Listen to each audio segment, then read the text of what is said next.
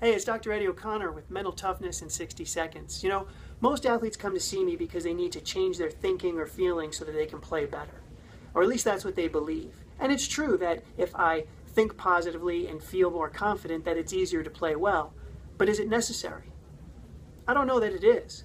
Let me ask you if you did everything you ever thought, if you acted on every impulse or urge you ever had, where would you be right now? Most of us would say dead or in jail.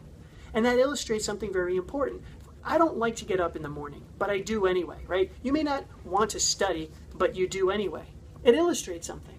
I can think in the morning that I don't want to go to get out of bed. I can feel exhausted, but I can go in a completely different direction and let my actions be independent. And that's the key. Our actions are independent of what we think and feel. So to be your best, don't rely on the right thoughts and feelings. Know what you want and do it anyway.